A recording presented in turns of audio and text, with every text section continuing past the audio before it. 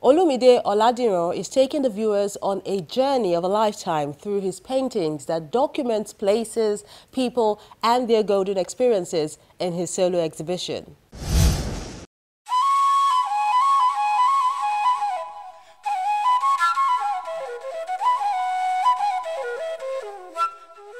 The Yaba College of Technology is buzzing with a new kind of energy.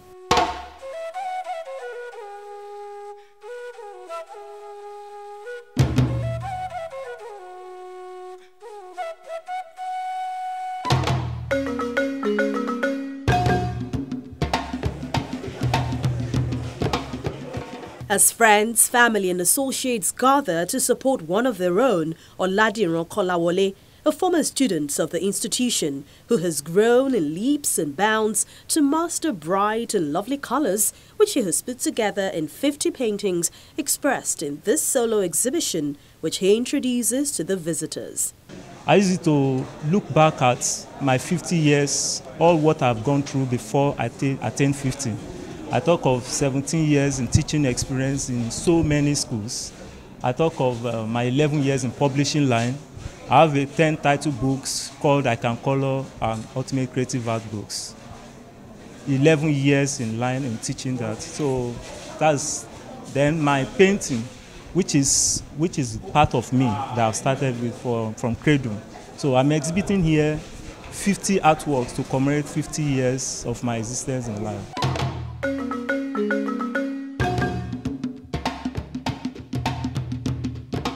This artist takes his audience down memory lane, capturing precious moments with his paint and brush.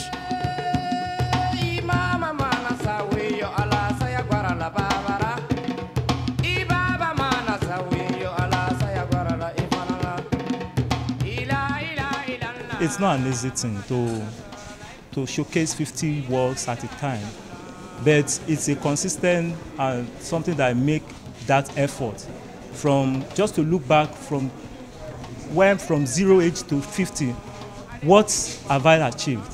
So i decided to use this painting 50 paintings to bring out all what i've been going through from the one to, uh, to the present age. And that's why i'm throwing this uh, exhibition open here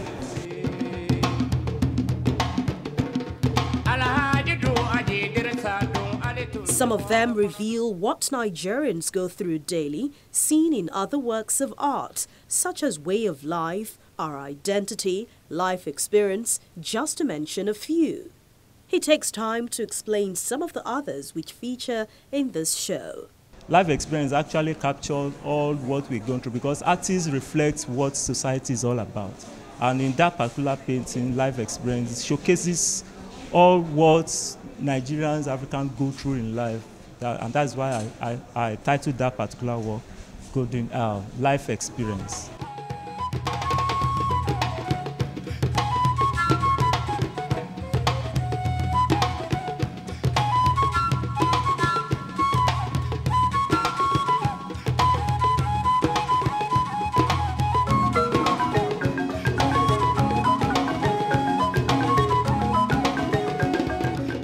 My innovation in this exhibition, I brought so many African designs.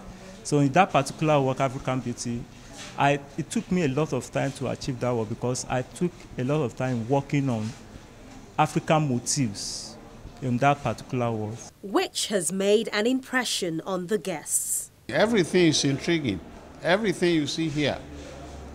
His mental thought, which he puts down shows the type of uh, mentality he has.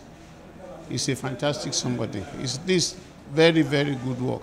There are a lot of challenges that can make one to derail from achieving what you want to do.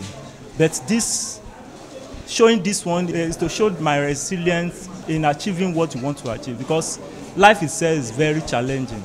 There are a lot of experiences, good and bad, in Nigeria. But if you have a focus you achieve what you want to do. So I want to tell the young ones that life is not easy, but if you focus on what you want to do, you really achieve it in life. either you, uh, you want us to challenge yourself. It's very, very important to challenge yourself that what I want to do is what I will do, no matter the challenges that comes your way. Most of those who have watched him grow describe him as a painter with so many words, and he has painted them out as he marks his golden jubilee.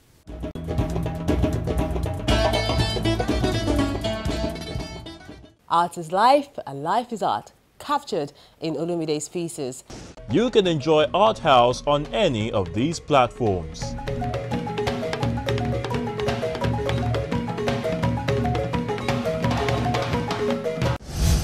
And there's so much to take in when you tune in next week. Let's show you a little glimpse of what to expect.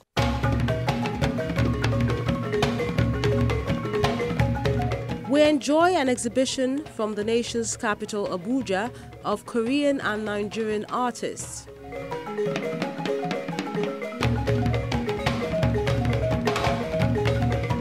For the first time, we're really bringing out um, exhibits of different artists of different category, exhibiting what they have to showcase our culture. When people ask me how much I love you, I tell them there is no currency for it. Then we come to the commercial hub, Lagos, to enjoy a war of words, a poetry performance. Let's talk about life, let's talk about death. Let's talk about peace, let's talk about terrorism, let's talk about that little girl weeping over the unidentified burnt body of what used to be her father. Let's talk about Baga, let's talk about Gaza. Let's talk about all, let's talk about all those dreadful dreams that keeps us awake in the middle of the night. Let's talk about those stories we've all chosen to forget. Come, let's talk. That and more when you tune in next week. And that's how the curtain falls on the program. But the conversation continues online as always on any of our platforms. I'm Melinda Akinlami. Have a fabulous 2018.